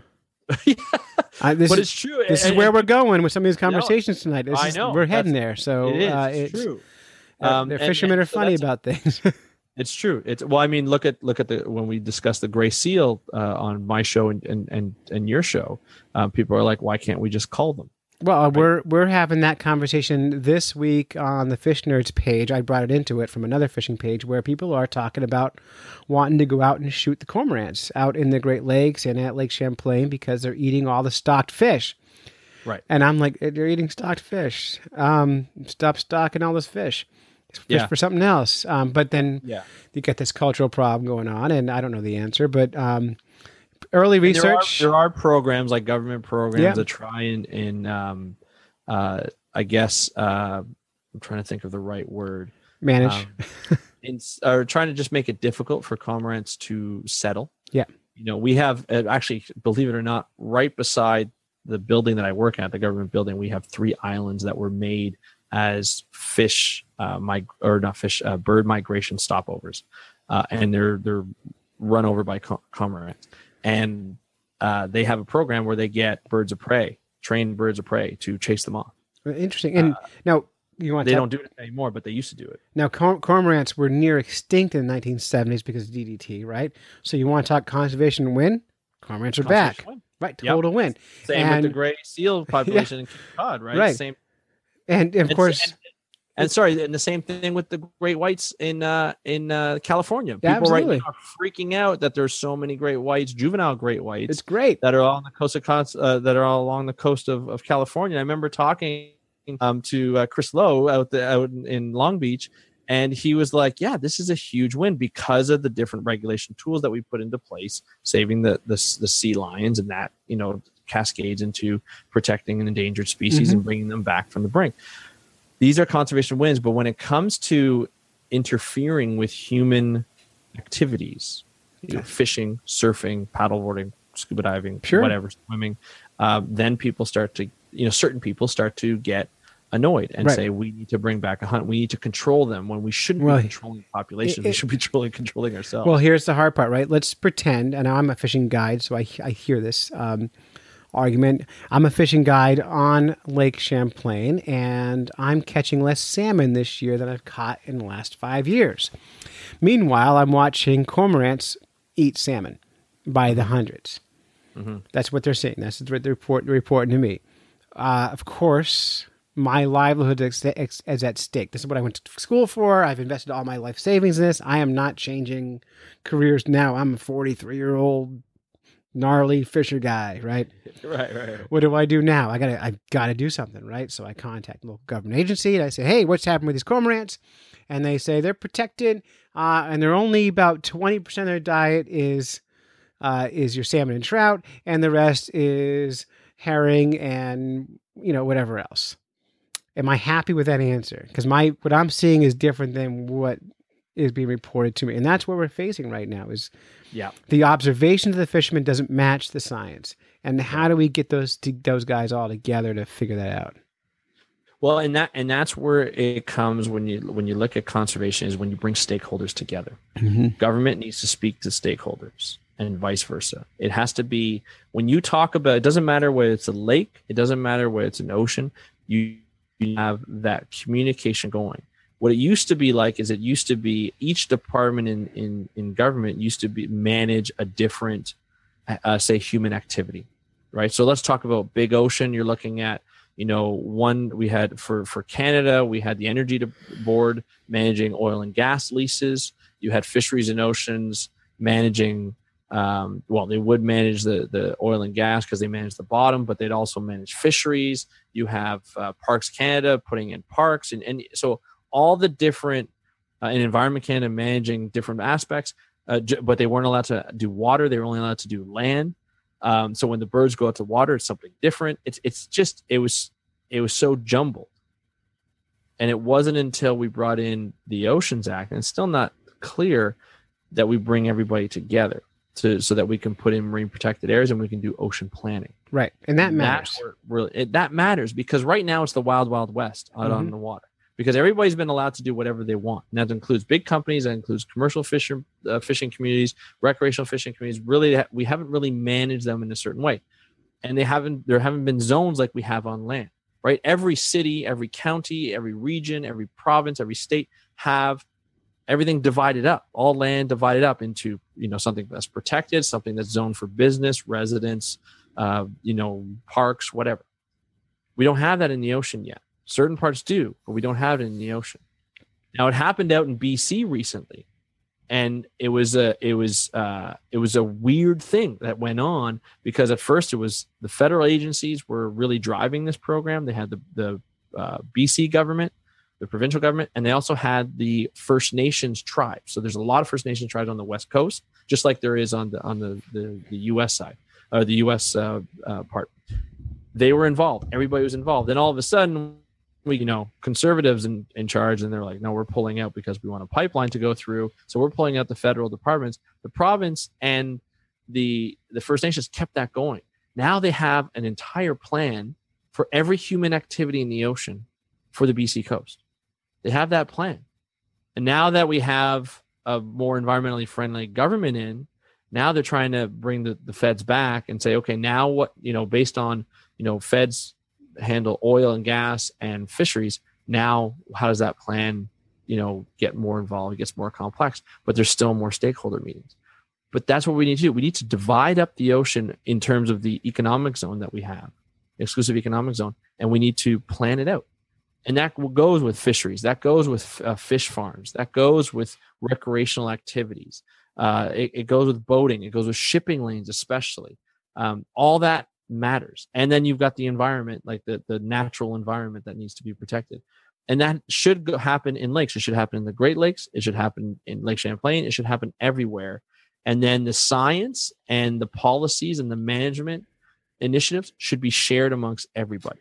Well, and, and communicate in a way that's understandable. The the Absolutely. other thing that I think go right along with what you're saying is is government needs to move faster and be more be able to like respond to people in a way where they feel like they're being heard because these guys complaining i guarantee you that their people they're talking to in, in the government are hearing them and it takes a long time. It's, it's like steering a train.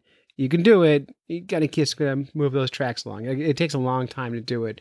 Um, absolutely. um, but people aren't feeling like they're being heard and yep and then they they vote against their own best interest because they feel like no one's hearing them because things aren't happening fast.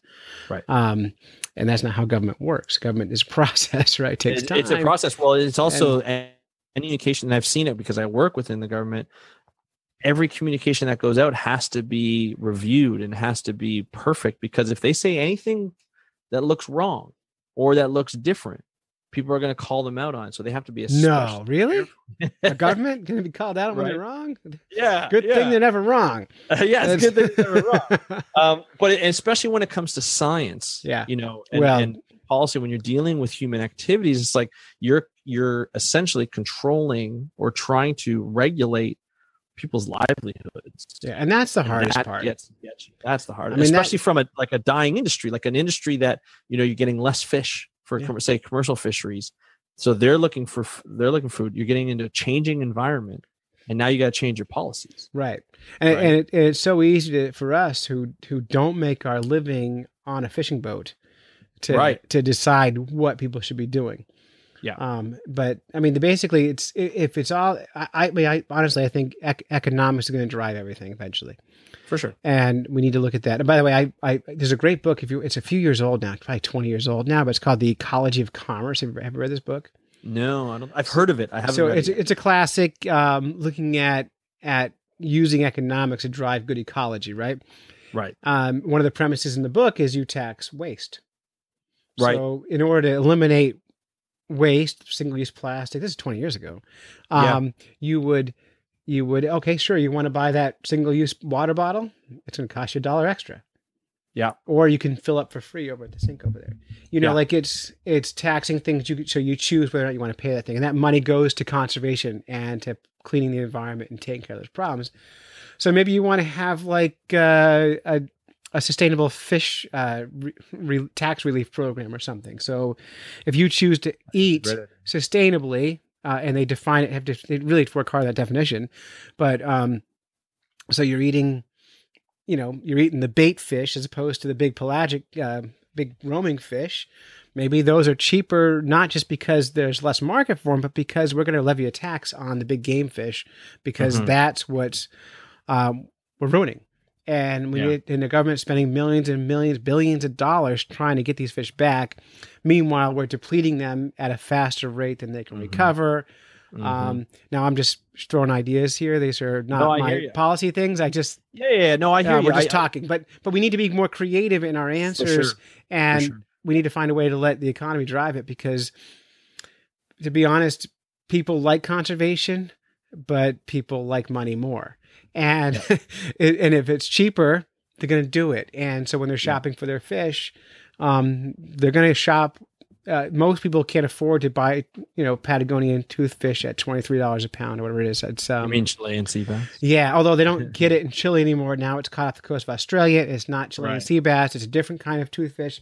Yeah, Um, but that's that's a whole other. that's that's a whole other. We can do it. I would love to to do to get an expert on fish names on and do a whole hour on on fish Oh, names yeah. because they rename fish in markets so much. It's so um, crazy. But but but maybe we need to think about more creative uh, answers and um, when definitely- when gas prices were going up, a market for efficient cars existed. Now gas Yeah. prices in the U.S. have dropped. SUVs are back. The, Yeah. it- the people, It, it goes on the eco- for sure. it's, It it's goes on got to be they- money. It's got to cost more money to to be a terrible person. That would be the Yeah. solution. well, and here's it. Like here's going to a basic example. We're talking a lot about North America here because that's what we know. yeah. Um, well, but there's, there's a no other part of the world. Oh, of course. We're it, But man. it- you know, one of the stories that always captures me, especially when you're looking at the fishing community, great way to end the show is because it makes it so complex. Is in Indonesia, they created a uh, shark sanctuary, so a protected area for sharks. Because what happens off this coast, there was a huge uh, finning practice, so shark finning practice. Mhm. And the reason why there's such a shark finning practice is because when it came about, because of the price of the fins were so high for the fishermen, the fishing community, the people in the, the families in the fishing community could afford to pay for their kids to go to school without finning and just regular fishing. They their kids couldn't afford to go to school. Well, then I, if I was those people, I would fin. Right. I would. You, you and- have and- no choice. You're stuck. Exactly. Yeah. Well, and and and but they're vilified in the media because there's no, you know, all they hear is of they're finning, they're finning, and this is not like necessarily like a, a bad part on each side. It's just the way it works. But then when they brought in the sanctuary, the people who put in the sanctuary spoke to the the the fishing community, and they said, "Hold on a second, let's figure out a way that we can keep that lifestyle going, and put in the shark to protect the sharks, uh, put in the sanctuary."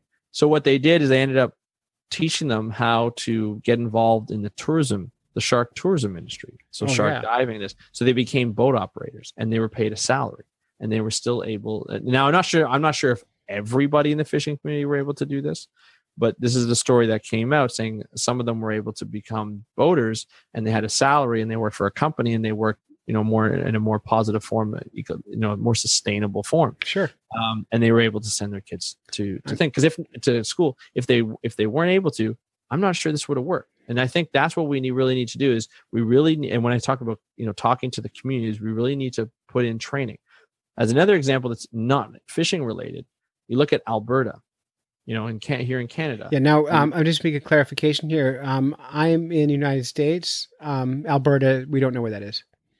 okay alberta is it fair Alberta's in the prairies. This is the tar sands, home of the tar sands. All right. We all know about the tar sands. Um, it's it, it neighbors British Columbia. It's almost on the coast, not quite. Calgary, All right. Edmonton, great hockey teams. That's all you need to know, and great CFL football teams. Um, but uh, you know, everybody in that, arguably, a lot of most of the people in that province are working in the tar sands or have something to do with with uh, the tar sands um, industry. Now, because of a new because of politics, because of OPEC putting down prices, our economy has dropped because we our previous government put all our resources in building future pipelines and getting tar sands out to markets out the Asian markets. Didn't go well. Prices went down. It costs a lot to get extract oil out of the tar sands. These people are out of work and they are angry. And you would be too. Well, of course, because they're out of work. Uh, and it's expensive to live in Alberta because the prices shot up. Right. Because Crazy, metric money. Of course, Yeah. right? Um, so now we're in a we're in a stance where they want to go back to work because that's what they know how to do and they know the tar sands industry. The government is is is doing a little bit of both, but they should be training, in my opinion, they should be training these these engineers who are very smart. They, they know their stuff. Engineers, uh, the the oil sands workers, to be going into renewable energy because that's where the future is going to be Sure. right? We all know oil and gas is is going to be gone. Coal is already starting. Coal is forever. apparently, I'm aware. apparently, Yeah. it's kind of going through a resurgence. yeah. Um, But in all honesty, even the coal, even the coal industry is like, we're not going to be around for Right. much. we don't want to um, be around. we don't wanna be around. place. It's- Yeah. So, but we all know that the the the renewable is going to be hard. So these people should be trained or should be training to go into the renewable or should be hired because they already have the Mhm. let's be honest, they already have the skill set to do it. They just need a little training to, to get into it. So the whole point of this of this argument is talk to the people who are involved who are going to be affected because it's it's not the ocean that we have to manage, it's the people that we have to manage. Absolutely. Well, And- there's there's there's another approach too entirely, which we don't like talking about, right? Um, but I listened to another podcast, you know, Freakonomics podcast, Love freakonomics. and they did a whole thing on what if we just gave people money rather than funding programs. So rather than funding all these all these job training, whatever, you know, you're paying other people to show people how to work. All these people who need to be retrained and they're old and they're stuck in their ways. Why don't we just pay you a salary the rest of your life and you stop doing that horrible thing? And then that's one generation and we're done. And we move on. And I bet you if the math, according to the Freakonomics, it actually is cheaper just to pay people than to run the programs. And people know what to do with their own money. They Was know, that the, was that the conclusion of that? they of that? people know how to spend their own money when what's best for them, and we don't. right? So all these programs, which are expensive to run, you got to have management, you got to have buildings, you need Telling infrastructure. people you have to do this. Yep. if, you, know, You jump you through hoops, and we'll give you a percentage of the amount of money we're going to actually spend on the program. Why don't we just give them the money and not manage it and say, here's okay, so you make forty thousand dollars a year as a coal miner. It's all you're ever going to make. Uh, Here's, so here's, here's, forty thousand a year until your pension, and then and then the coal mining's dead, and we move on. Yeah. Um, and we build colleges, and we train people to make solar panels, or whatever it is, or But we that would pay require fishermen to education. fish, or we that would pay... require investing in education, and that governments aren't involved in that. Yeah, no, They don't. They don't want to. it's it's coming. It's look, things are changing. It's going to be okay. Um, and just kind of just to just to kind of recap things though, where I am I am a fisherman. I do make part of my living on the water as a fishing guide. I do eat fish. Um, on our show, we have a, uh boat captain called Captain Shawn Tibbetts, who runs Miss Megan 2 out of Maine, MaineTunaFishing.com, and I've been shark fishing with him and I've caught and eaten a mako shark. Um, before I did that, I asked Maine Fish and Wildlife, "Is this a safe fish to eat? Am I doing the right thing?" And I so we did it. Um, and then I went on public radio the next day, and all hell, you know, the Oh yeah, people aren't going to like you. they didn't like me, and they were right. Um, I was wrong to to do that, but at the time, I checked in with the local resources and, and didn't realize I was wrong. People are going to make mistakes. My Yeah. biggest regret, Why? Why did they? Like you said, you talked to the government, look like the state government. yeah, and they said it was okay. Well, because in the Gulf of Maine, mako shark numbers are strong. There are tons of them. They're they're everywhere, um, and so they have really, really huge numbers in the Gulf of Maine. There are a lot of mako sharks, but um, they are large fish that swim across the world, and so they are not. Just because fish are huge in numbers in one area doesn't make them big everywhere, and that's what we didn't catch on to. And regulations are done state by state um, for fisheries, and so and there are some national federal, there's federal laws too, but like a lot of this is state by state. So Maine regulations said Right. Totally okay. Yeah. And so I trusted those people, and and maybe maybe I was wrong to do that. My biggest regret is not killing and eating that shark. Um, it was delicious. My kids ate it. We fed about twenty families. I t- I bought I paid a bar tab with a piece of the shark. Um, is not eating the fins because Mm. I I didn't think about it. But now I'm like I I want to know what the uh, I I don't want to ever I'm never gonna pay for shark fin soup, but don't you want to know what's so special? like if you had a chance, because you did, were there anyway, the fish was already dead. I didn't use the whole fish. I used everything except for the fins. Um, Right. Maybe I should have had shark fin soup. I don't know. Like we're gonna get blowback on this now. it's, uh, no, no, no. You know what? it's real life, and it, it happens. But there's a know? there's there's a difference, and, and and a lot of people have arguments with this. But there's a difference when there's a shark fishery that's established. Mm-hmm. There's a difference between finning, where you're just going for the fin and throwing the shark back, Mm-hmm. to eating the entire The shark. entire shark, right? Which, by the way, I that's my thing with shark finning is is there's a lot of things with it, but um, People aren't going to like us for this, but I shark but is delicious. it's so good. Oh yeah, for sure. Yeah. And and I think, you- but when you look at it, like you look at the whole sustainability, you look at what's happening with every shark, and we know very little bit, very little about sharks in general. Uh, when you look at the overall sort of stats, but we know how much they're declining. Mm-hmm. That would prevent me from eating shark. Yeah, Right. I'm I'm Uh, done just with it now. that respect. Yeah, yeah, yeah. No, for Yeah, sure. I've, I've learned, But I you know. I wanted to make I wanted to make it clear that if somebody buys a shark or catches a shark and buys a shark legally, uh, there's a difference with you know trying to eat the entire shark and then just compared to just chopping off the fins and throwing the shark back alive. There's that barbaric aspect, but it's also the waste aspect. Oh, of absolutely. not eating the entire fish. So I wouldn't necessarily feel guilty in that in that respect. Um, I'll be honest. I there is a story that I have. Um, you know, where I was at a, a banquet with my in-laws. Uh, it was a banquet dinner, and uh, shark fin soup was served. It was the first time I've ever seen it. I knew about the problems that with shark fins.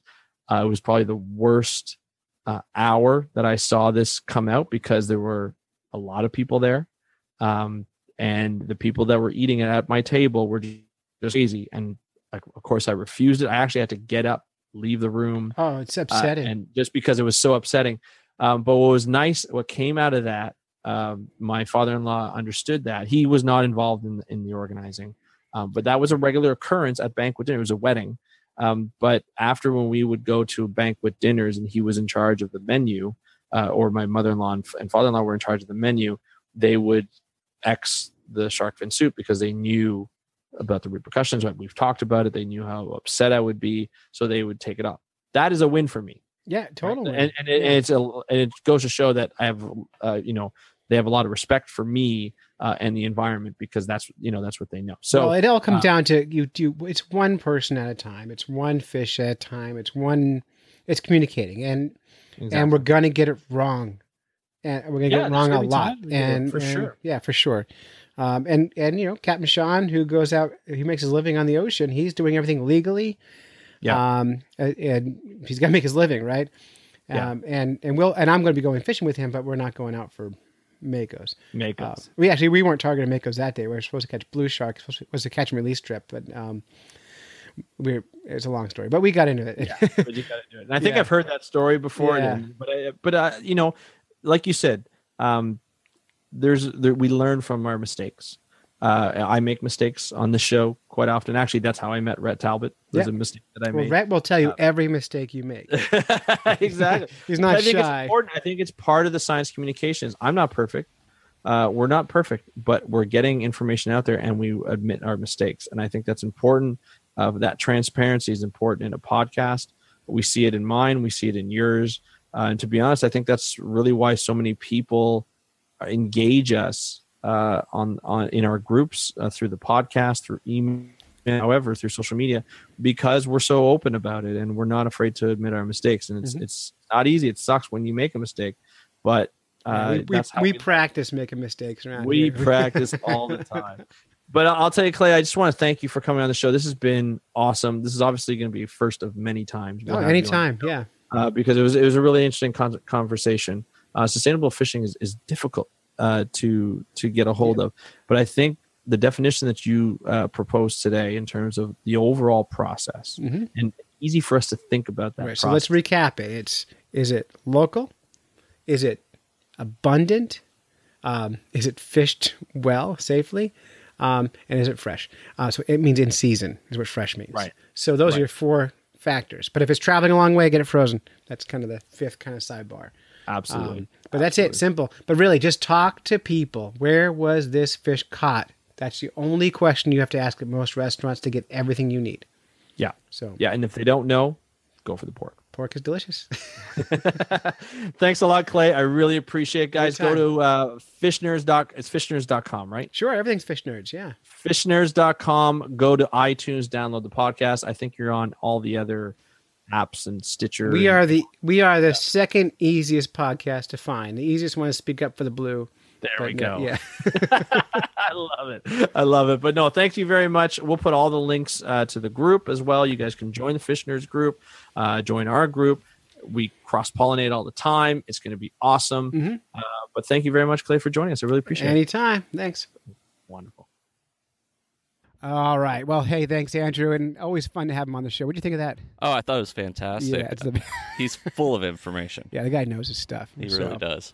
Yeah. In fact, the week after that, he had a guy on who is a ocean economist, looking at the economy of sustainable seafood. So a whole different like money approach. If you if money is your driver and not the environment, you'll hear about that on his show. So it's, it's worth your time. You know, oftentimes that's a way to get people onto the environmental causes through the financial Well, aspect there's no downside to having a good environment. no, It's good financially, it's good for the environment, and everyone wins. So Yeah. Uh, anyway, so that's it. You've listened to a whole bunch of fish nerds when you should have been fishing. thanks to Hugo. Thanks to Andrew Lewin. Thanks to you, Nick. oh, glad to Yeah. be here. Always a blast. Always fun. So until next time, follow the code of the fish nerds. Spawn early and often, Right. Um, avoid free lunches with strings attached and swim against the current. every chance you get. Oh, and now it's time for your local fishing reports. Hi, this is Steve from the North Country Angler, North Conway, New Hampshire.